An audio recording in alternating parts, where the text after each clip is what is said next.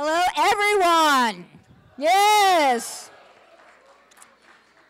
And welcome to Seeds of Change. It's so great to see you all. You are beautiful. Um, my name is Jean Crocker, and I'm the executive director of Crossroads Fund. Um, and I have the honor to, of being the uh, MC tonight. And I just want to clarify that that does not mean mayoral candidate. hmm. No, we've got we, we you know we got we got an interesting thing going on, don't we? Um, so really, thank you all for being here tonight. Um, we we just love having you all on this special night. The crowd does get bigger and the, it does get more beautiful every year. So it's great to see old friends and new friends. Um, we want to start right, right, away by thanking the folks who made this possible, and that's all of you. So give yourself a round of applause. And our benefits sponsors, and their names are posted in a variety of places around, like on sheets and up here and and, and, and these are folks who gave a little bit extra to make sure that everybody could be here tonight and have a great meal and a great time together. So thank you to the benefit sponsors. Um, and I want to give a special shout out to our friends who are, and uh, who gave things to the silent auction: artists, uh, photographers, merchants and really pay attention to the merchants because you know these a lot of these people are independent business owners. Um, you know they really need our support and they're supporting us. They're supporting the crossroads fund and by extension all of our grantees by giving to this event. So pay attention and let's give a round to the people who are giving to the silent auction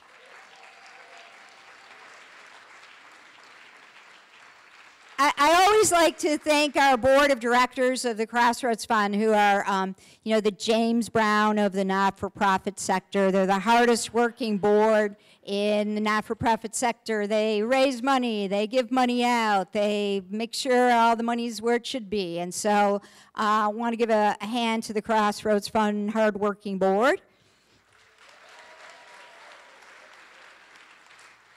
And it, I just want to call out a few other really volunteer bodies that are really significant for us. The Youth Fund for Social Change. There's a bunch of youth who give our Youth Fund grants out, do a lot of work to do that. Our Upstart Board, our Giving Project. There are all these different folks who come and work at the Crossroads Fund and volunteer for us and make sure that we're giving grants out to the, to the right folks. So I want to give a round of applause to all of our uh, volunteers. And last but not least, um, an amazing staff of people at the Crossroads Fund. And I'm just going to say all their names because they're like so amazing. I can't go into it. Um, Sheila O'Donnell, Jane Kimondo, Christina Roque, Cindy Ibarra, and our Lisa Fitco intern, Carla Navoa. So thank you so much. And our newest our newest staff member who is responsible for all these wonderful visuals tonight, Emmanuel Garcia, Manny Garcia.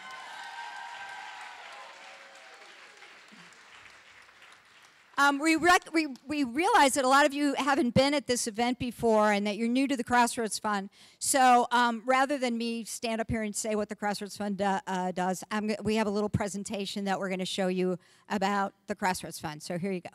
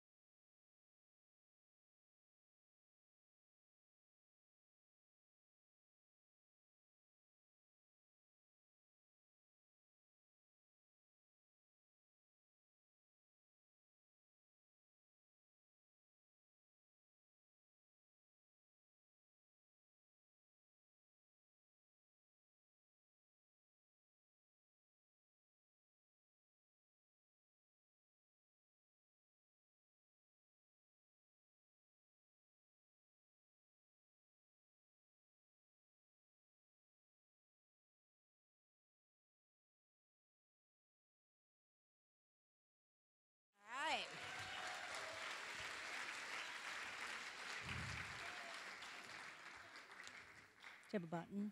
Have your button. So, uh, you want to know about big change, don't you? You want to know all about big change. I, I know about big change. And soon you will know about big change. And here's how there are people around you in the audience, at the bar later, at the dessert table, with a button that says, Ask me about big change. Where are you, big changers? Let's see you. There you are. Ask them about big change. Big change is super exciting and you want to be a part of it. So when you leave the auditorium, go and ask somebody with a button, including me, about big change. Now on with the program.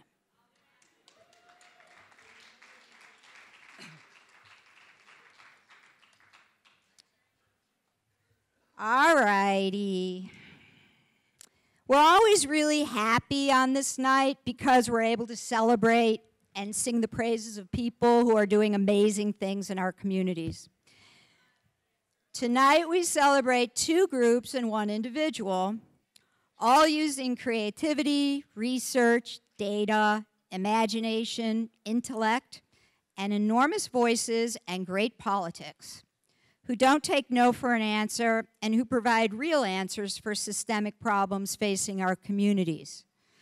As you probably know, you may have heard, there is a mayoral election coming up on April 7th. I know. I know it's really hard for Chicagoans to even recognize what a mayoral election is. So, like wrapping our heads around going to the polls on April 7th is like a new concept, okay? So, get out and vote. You should do it on April 7th. This lady up here is telling us get out and vote April 7th, right? But voting, I want to remind everybody here that voting is only one tool in our toolbox. It's an important one, but it's only one tool in our toolbox. But just as important as voting is the work of stop and fly. And we charge genocide. And you're going to meet all, you're going to meet those groups tonight. And the tools that they are using will move us further. Promise me. They will pro- promise you. They will move us further then the ballot box will. So we need to support them. Ben Joravsky's weekly column and blogs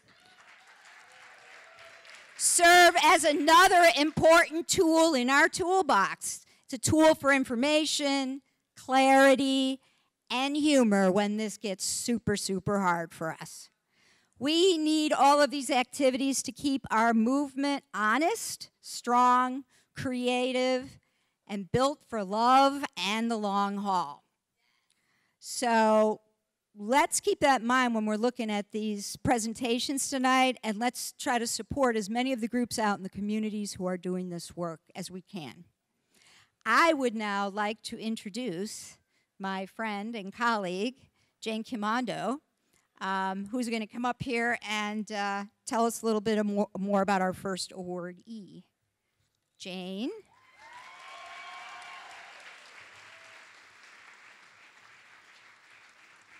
Hi, everybody. Before I start, I have to tell Jean something.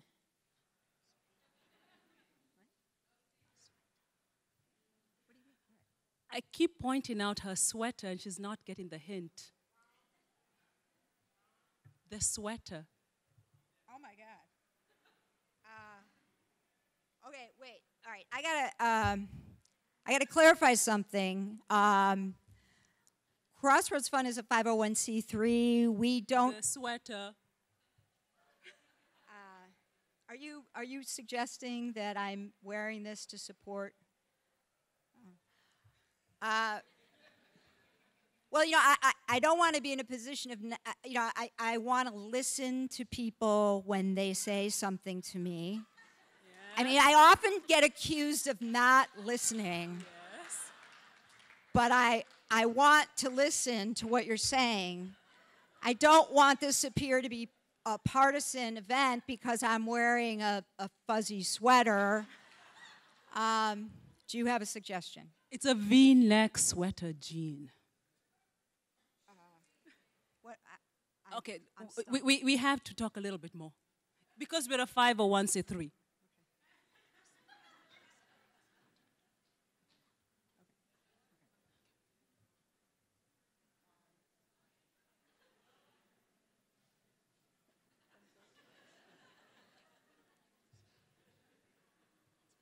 Okay. All right. Right. Um, I, I, I really just feel we, you know, you're right. We have to even this thing out. Um, I don't want the perception that this sweater implies something.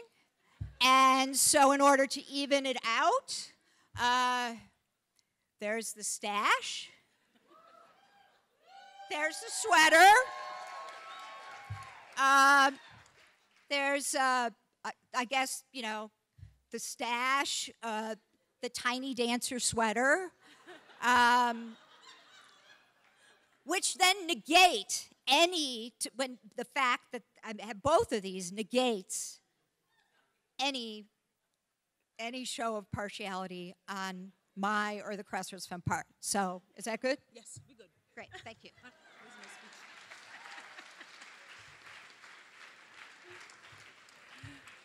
Thank you, everybody. I just want to extend a warm welcome to everybody, especially the folks who are standing. And we have some extra seats, so if you could come up, make yourselves at home.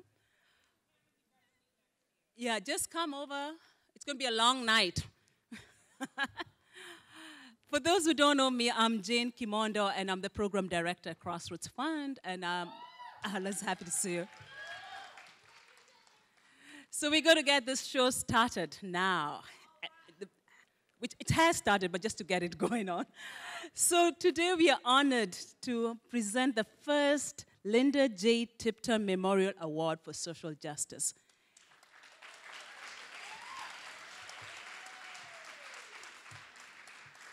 And you might ask, who is Lynda? So we're going to tell you a little bit about Lynda. Lynda Tipton was a dear friend to movements for racial, social, and economic justice in Chicago. She was a feminist who cared about the rights of workers and all people struggling for justice. Lynda was an early staff member of the Chicago Women's Liberation Union and a union rep for SEIU Local 73. She was a founding member of Interracial Family Network in the late 1980s. She created a space to support multi ethnic identity of youth and their parents. Lynda was an activist who demonstrated for civil rights, women's rights, and for peace. In short, Lynda shared the ideals of Crossroads Fund, especially the recognition that issues are interconnected. We remember her and we celebrate her life. In 2014, Lynda's family and friends created the Lynda J. Tipton Memorial Award for Justice. Tonight, we are honored to present it for the first time.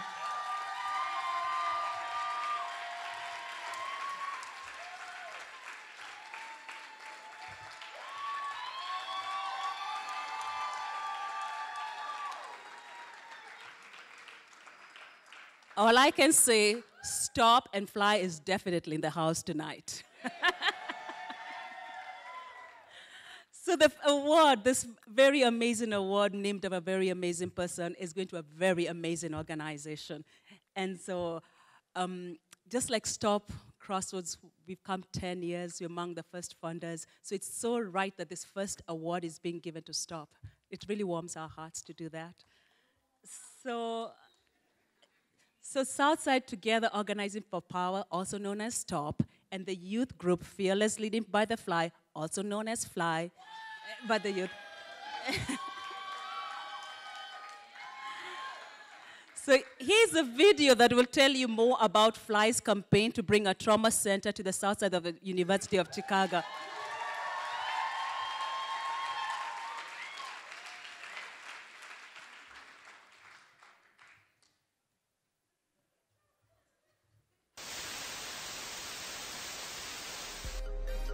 By the millions.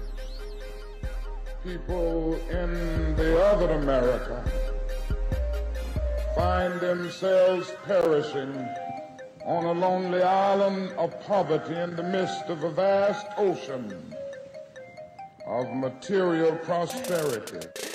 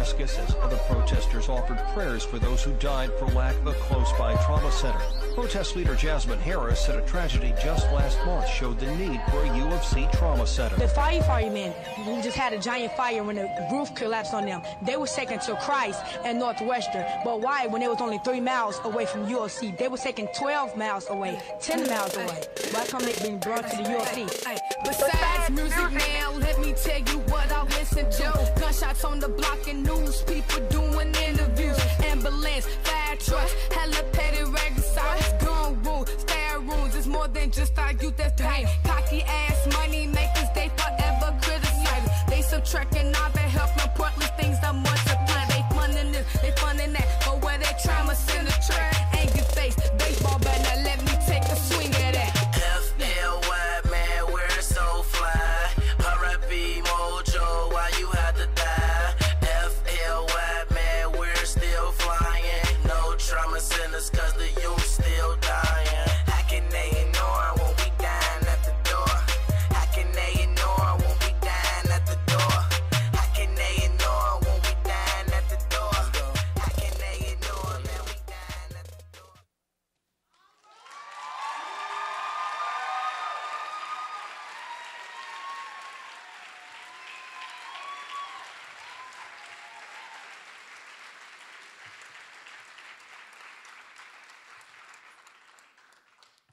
Thank you.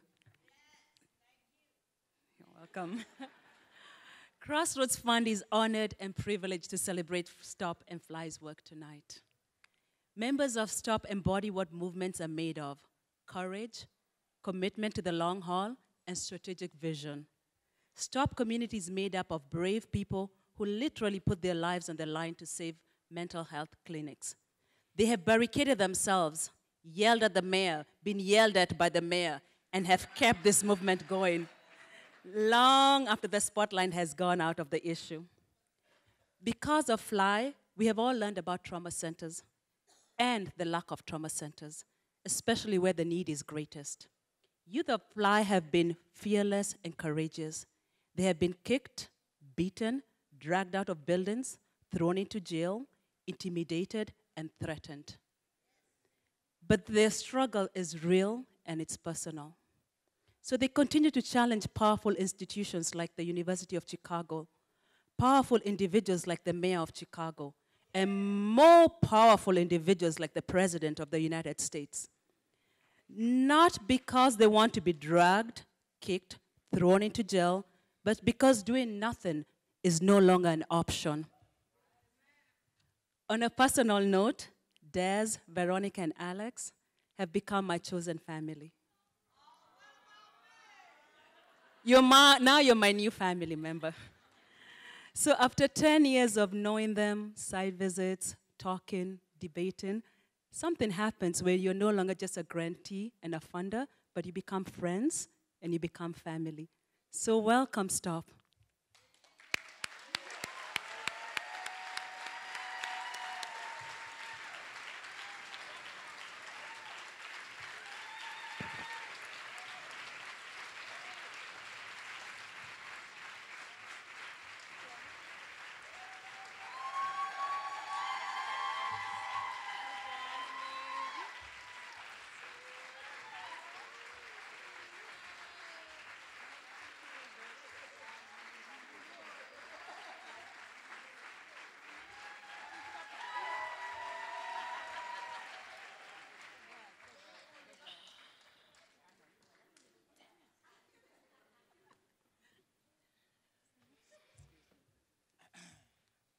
Good evening.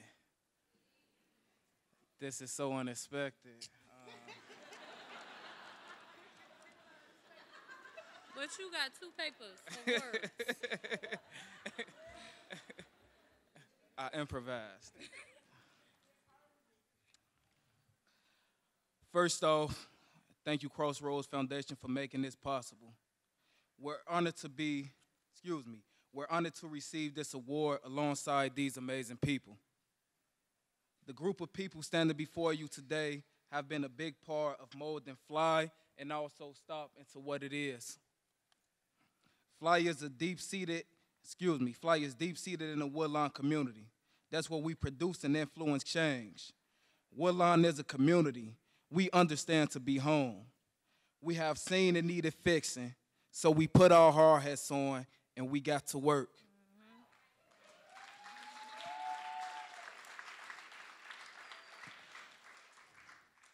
2007 was the launch of Fly's first campaign, the Audy Home campaign.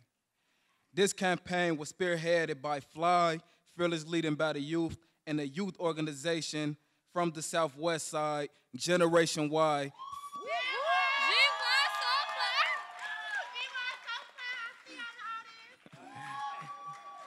formerly known as C2.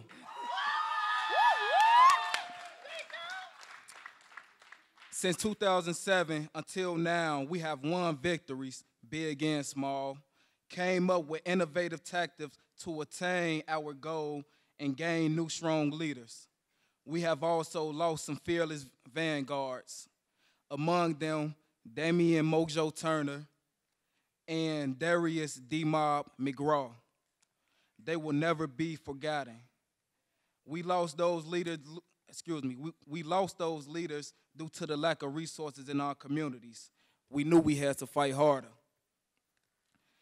When we get knocked down, we go back to the drawing board, detect what we did wrong, come up with some more of those innovative tactics, and go back at it.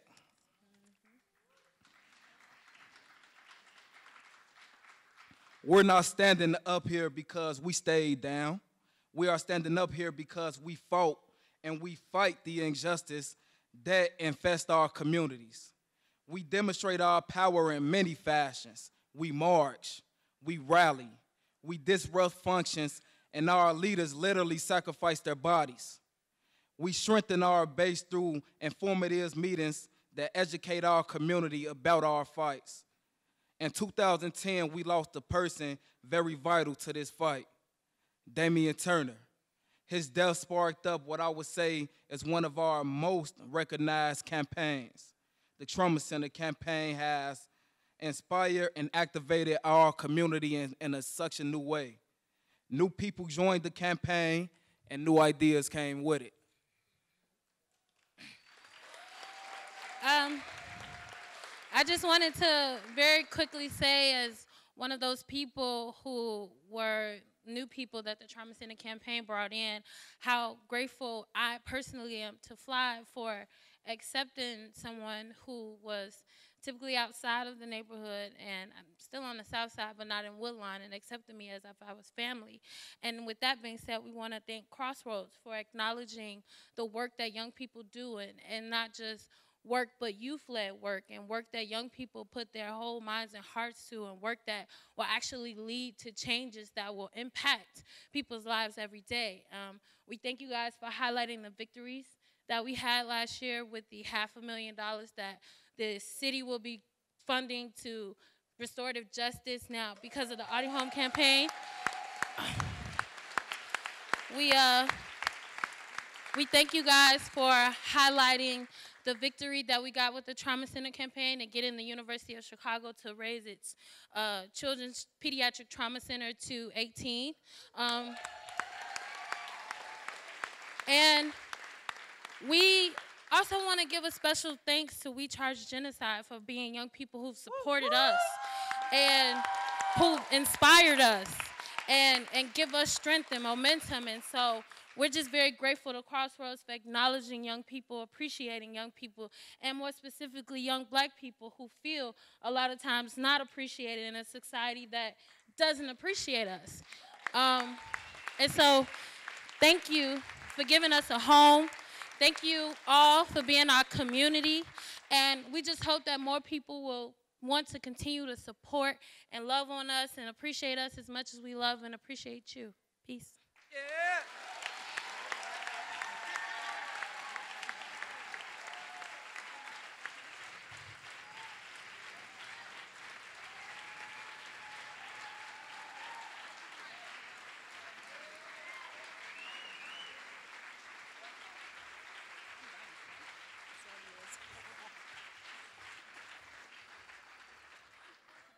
All right, all right, stop and fly.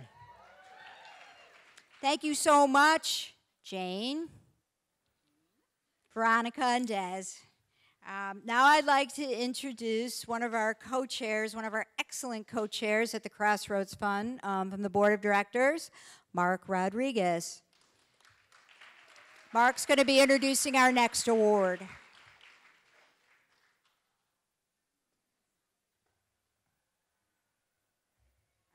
Took my sweater and my mustache off. Good evening, everyone. Let's give Fly another round of applause. Let's give them another round of applause.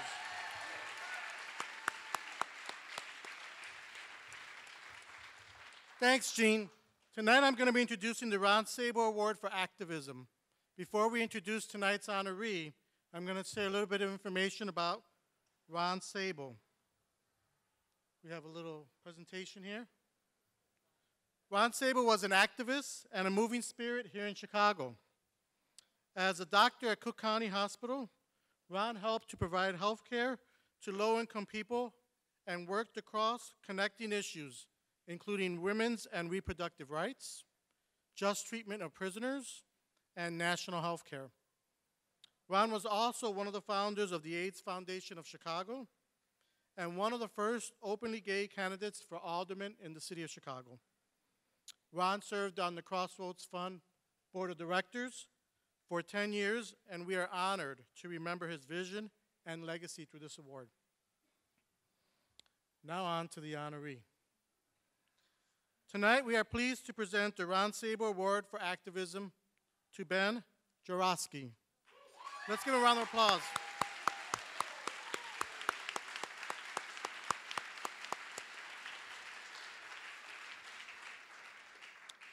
Ben Joravsky began writing for the Chicago Reporter in the early 1980s. Ah, Chicago Reporter is what it says here.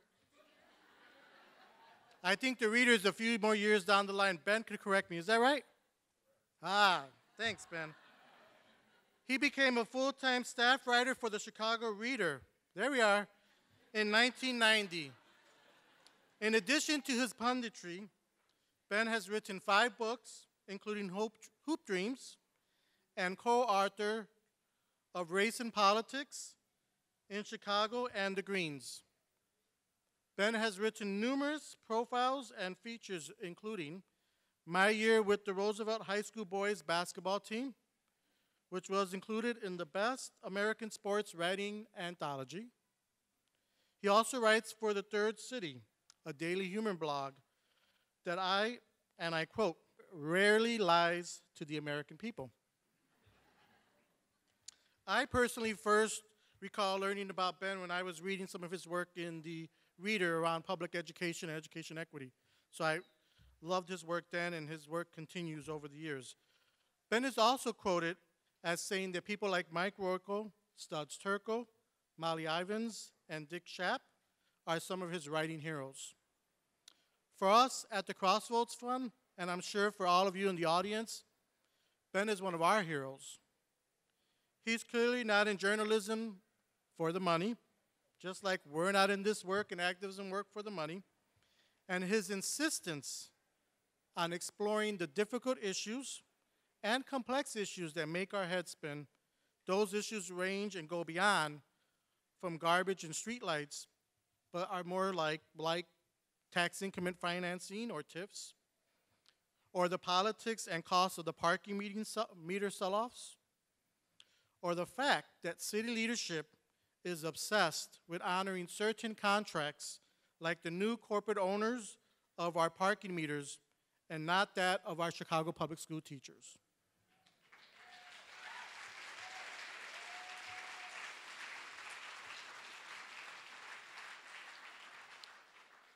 We love Ben, even though he calls Chicagoans weird, twisted, and sadomasochistic for voting for the same bad public officials over and over again. I promise Jean did not give me this information. We're not taking any partisan sides here. With all of that in mind, we still love him. Ben is not only our local treasure, but he is also a national treasure. A journalist who digs deep for the facts and the real stories, even when it's complicated. He's got our backs, and tonight we are thrilled to honor him with the Ron Sable Award for Justice. Be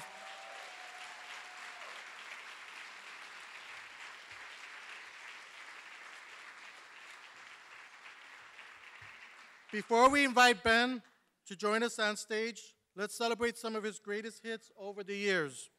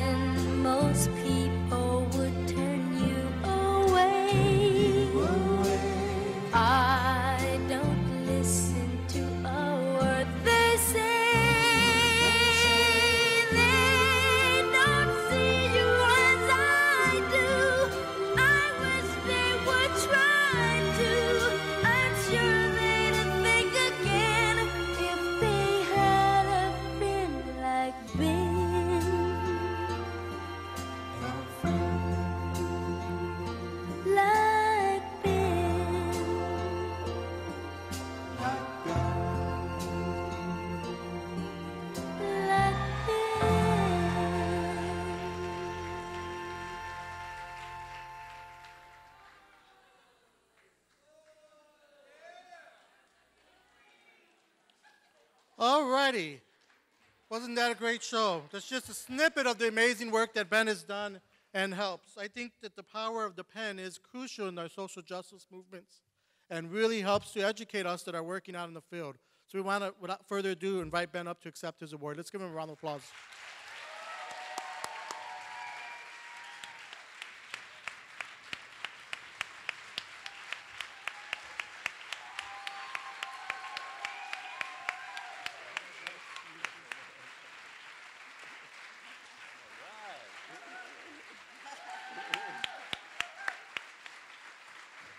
That's pretty good, huh? Well, you stick around long enough, you get an award. That's pretty good. Um, thank you very much, Crossroads Fund. I think this is the payback for an article I wrote about you about 20 years ago.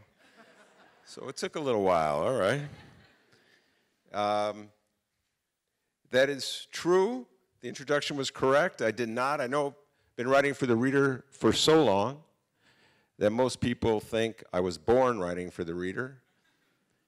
But in fact, I got my start in Chicago writing for a well, it's a monthly newsletter um, called the Chicago Reporter, and. Uh,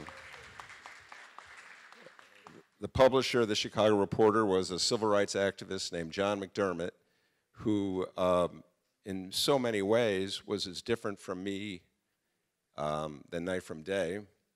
He was essentially a conservative uh, on social issues, uh, Catholic from Philadelphia, who had settled in Hyde Park and uh, sent his kids to parochial schools and was urging me to send my children to parochial schools, even though I'm not Catholic.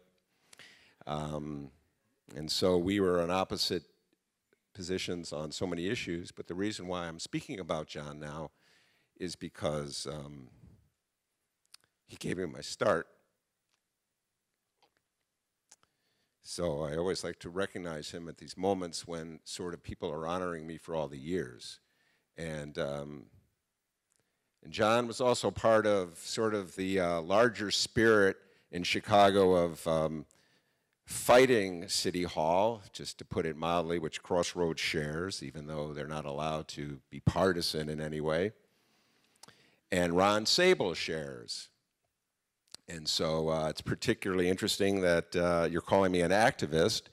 Uh, John would be so outraged because he was uh, one of those uh, objective journalist guys. Um, but I think that at some point um, I gave up just trying to be quote unquote objective and just started telling people what I thought. And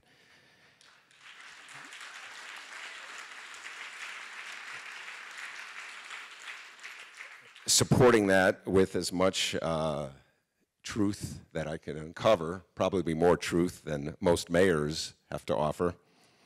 Um, I was, uh, in preparation for this, I looked up uh, an old article I wrote about Ron Sable. I wrote about him as well. And uh, it was about how he ran for alderman. And he was running for alderman in the 44th Ward way back when in the 1990s, early 90s, and he lost. And he lost, as near as I could tell, primarily because he was more than just a one issue candidate.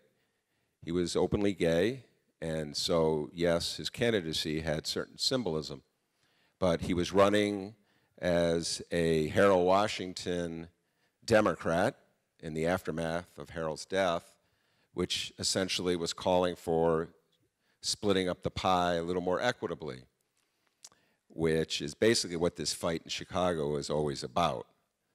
And um, so he lost. So I think there's some great honor sometime in losing uh, if you stand up for the right thing or if you think you're standing up for what your principles are.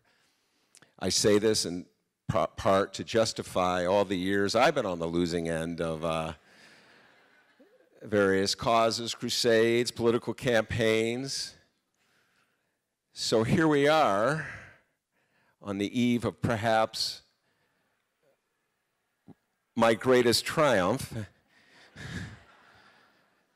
I know I'm not the one running for mayor, and I know I'm not the one responsible for his campaign, but a lot of the issues that finally motivated Chicagoans to vote against an incumbent, all powerful mayor uh, are issues that I've been writing about for years. So, in some ways, Uh, it was a great night on February 24th uh, when we got that runoff.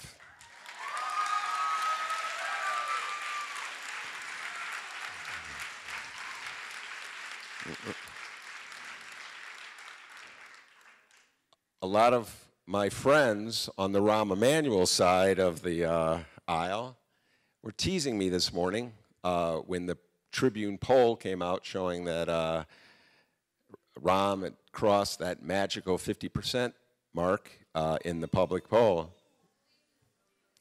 Just reporting what the poll said, folks. And uh, they told me that uh, it's probably best for me um, that Rahm win because I would have nothing left to write about if I didn't have Rahm to bash.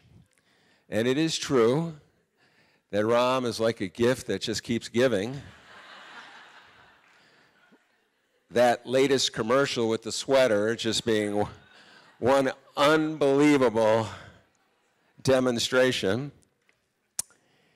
But I would like to try a new experiment in my writing career, and that is writing about a mayor that I actually voted for.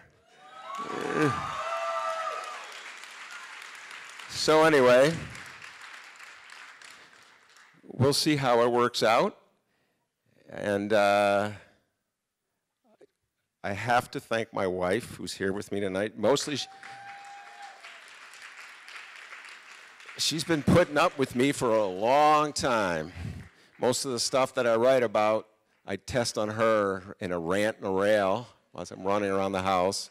And usually she works at night, so one of these events like this happens, she can't be here. So I'm really happy that Pam could be here. And I'm very happy that you gave me this award. Thank you very much.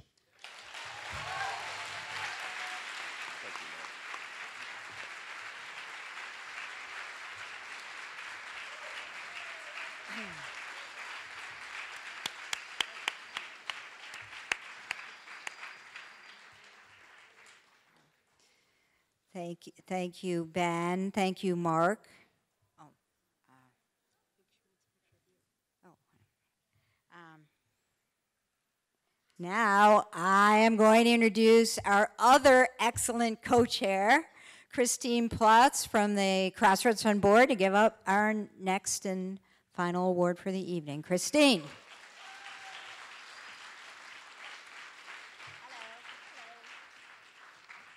Hello, everyone. Thanks, Dean. Um, I am proud to introduce the Donald F. Erickson Synapses Award. This award recognizes the founder of the Synapses Foundation. The Synapses Foundation was dissolved in 2007 with its assets serving as a substantial endowment gift to the Crossroads Fund. The annual payout helps us support our annual grant making. Now, Don Erickson taught geography, history, and social studies at Calumet High School, and he was also a committed activist for peace and justice, working to end human rights violations across the globe. Through the creation of the Synapses Foundation, Don left a legacy of support for peace and justice organizations in Chicago. Crossroads Fund is grateful and honored to remember Don and his work for the social change through this award. Before we introduce this year's recipient of the Synapses Award, let's watch a video about We Charge Genocide's work.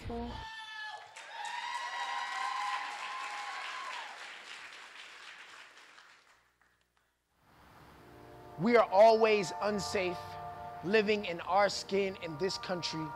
It's a permanent condition. Our people are stopped, we are frisked, we are criminalized, we are targeted, we are invaded, we are jailed, and we are killed. The machine grinds on, and we struggle to identify one culprit, one officer, one bad apple, but there isn't just one. So many of us are afraid to speak the word. We are afraid to lay claim to it. It's too awful to believe. No. No. No. It seems too conspiratorial, too pessimistic, too alienating, too something. Yet there it is on the forefront of our minds and at the tip of our tongues. When we are feeling brave, and safe among those we love and trust. We sometimes whisper the words Genocide. Genocide. genocide.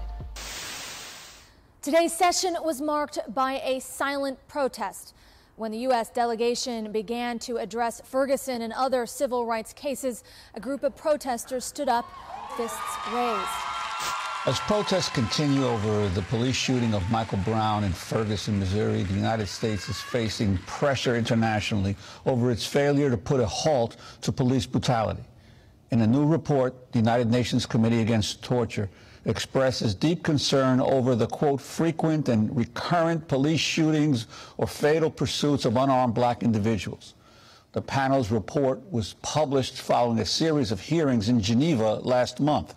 Every day in the, in the States, in the city of Chicago, uh, We Charge Genocide has a report that is online for anyone who wants to view it that documents every single day that police violate rights, abuse, sexually assault, murder, and kill, particularly people who look like me, who are black and who are brown. And that is devastating. And what the state brought today does not at all cover and or answer those questions and is inadequate. And while we're dying in the streets and the State Department is patting themselves on the back because they let us stand in a room, we're not fighting for the right to stand in this room. We're fighting for the right to be alive.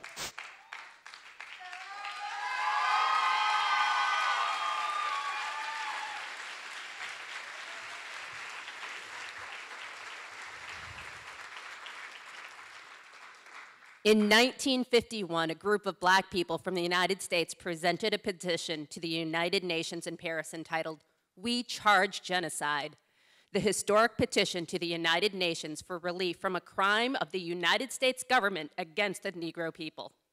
I quote from that report Once the classic method of lynching was the rope, now it's the policeman's bullet. Inspired by this historic appeal to the United Nations and recognizing that, unfortunately, so little has changed, we charge genocide as a grassroots, intergenerational, volunteer effort to center the voices and experiences of young people disproportionately targeted by police and impacted by police violence in Chicago. Their work explicitly links the historical treatment of black people to the current realities of youth of color. The world took notice when eight members of the group traveled to the United Nations in Switzerland to present their report, Police Violence Against Youth of Color, to the United Nations in Switzerland. We were inspired by their silent protest after the presentation of their report. We charge genocide connects police violence to the structural racism and makes the case for a youth led global human rights movement. We are inspired by their leadership, honored to recognize their important work, and thrilled to celebrate them tonight. Uh, will everyone from We Charge Genocide please come and join me on the stage?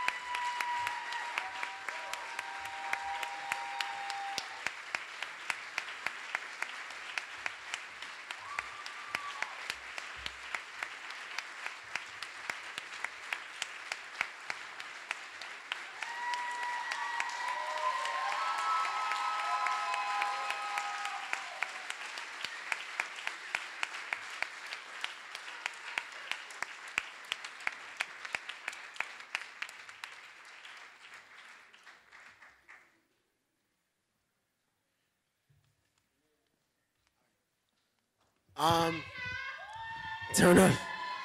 Yeah.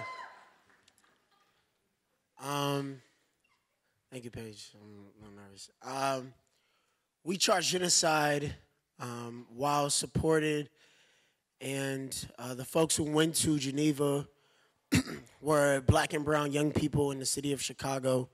Uh, we charge genocide as an intergenerational effort uh, that exists, I think, 70 plus deep of networks of folks who, um, you know, collectively imagine what that trip could look like.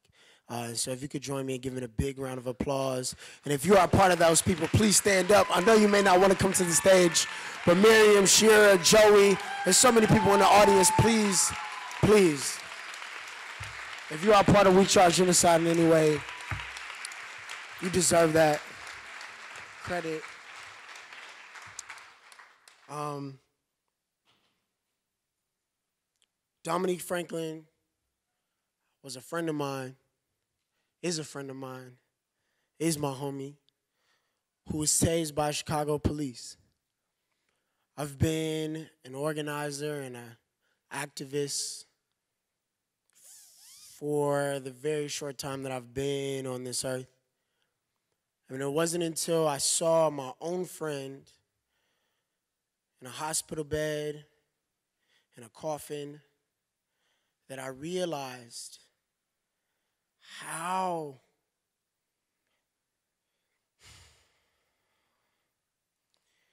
that I realized the weight of this work. When we went to Geneva and to hear the United Nations call Damo's name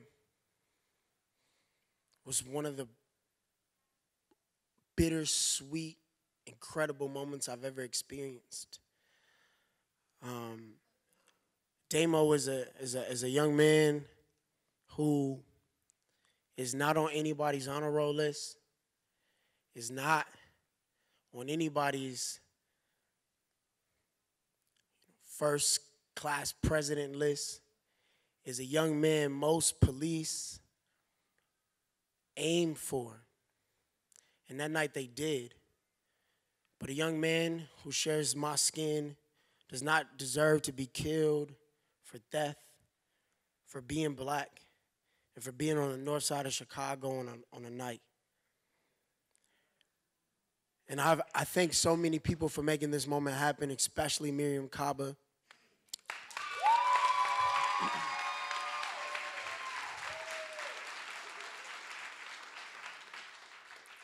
My friend Etho, Ethan, who is also not here.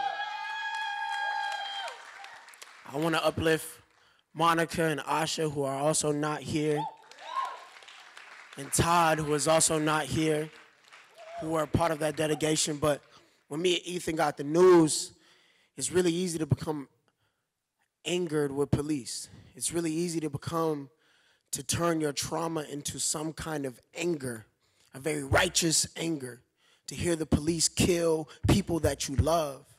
And I don't know what I would have done that summer had it not been for Mariame Kaba and the room of folks who came together and showed me a way to collectively organize instead of wanting to fucking put a bullet in the police department. And I'm sorry, but that's how I feel and how I continue to feel. um, and uh, and I'll, I'll close and, Page. Um, I really want to uplift Page May who uh, may seem, who may look like a 12 year old, uh, is, is, uh, is an incredible, strong, and brilliant woman who worked with two other folks to create a comprehensive report uh, to, to bring to the UN, who was, was literally a spearhead for all seven of us in that moment. Uh, and I don't think she gets enough credit uh, all the time, and she uh, is very similar to Mariame Kaba. Anyway, I could talk a lot. Um, this shit matters. My life matters, my homie life matters. And because of this work, thank you, Crossroads. Thank you for the people that donate to this moment. And there's people out there every day who experience this brutality. Um, please, Page, talk.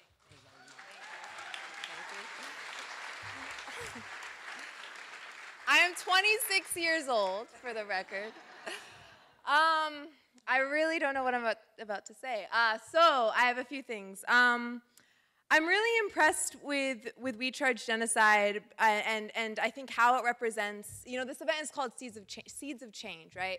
Um, and, and again, I want to lift up Mariame Kaba, even though I know she's already mad at us for doing this. Um, but, but this was a project, I don't know if she knew what it would turn into, but I really see it as sort of a moment that as, best as possible honors the work that she's been doing for decades in this city, right? And we're on the stage, but like this is really the result of, of years and years and years of relationship building and organizing and, and empowerment of particularly young black and brown people in this city, uh, led by folks like Mariame Kaba. So that's how this, these things happen. They're slow. Um, yeah. And I think, okay, how many folks know about Radiolab? Uh, a couple. Okay, yay, nerds. Okay, um, so Radiolab is about science, and um, and there's this episode that talks about mortality that always really hit me, and it talks about how like the, the, the different stages of death, and the last one being the last time that your name is spoken on Earth, um, and that always really hit me, right? Um, and I think what's so you know, black people are are forced to survive in, the, in, in something called social death, right? Like you don't really get to be human, you don't really ever get to live. Um, and, and when people die, it doesn't really mean the same thing. Um, and I think what's so beautiful about the work that we're doing is, is the ways we're resisting, right? We're taking Damo's name and we are making sure it gets written, that it never stops being spoken. Um, and that's beautiful. That's really beautiful. Uh, yeah, and um, and I, I think a lot about how do we honor that death. I mean, it is millions of people that have been killed for, since slavery. That, and many of them, I don't know, I don't know their names. They're X. They're literally an X. Um, or they're pounds of weight lost into the ocean on slave ships. Like, what the fuck? Like, how do on earth do we begin to find justice in that? I think it is nothing less than complete revolution, than complete transformation of society. And it, um, it does a disservice to their memory to, to imply that like a mayor is gonna fix this, you know? Like, let's be real. Um, it's gonna take a lot. It's gonna take all of us and more. Um, and it's gonna take, yeah, a lot of sacrifices. And so I, I want to say thank you for honoring us th- this experience has been a lot of firsts for me, one of which was like my first interview with the press. And I remember that first interview was with this woman from, I won't say okay, I won't say her name, but she was like, the whole interview was me defending our name. Like, the whole thing was just like why I say the word genocide and to just appreciate what we, what situation, with the crisis that we're in, and to recognize the work that we're doing in spite of genocide is, is really meaningful to, to me and I think to all of us. Um, that we don't have to defend our anger, that we don't have to like explain it. Um, thank you for seeing that and seeing what we're building. And yeah, that's all. Okay, peace.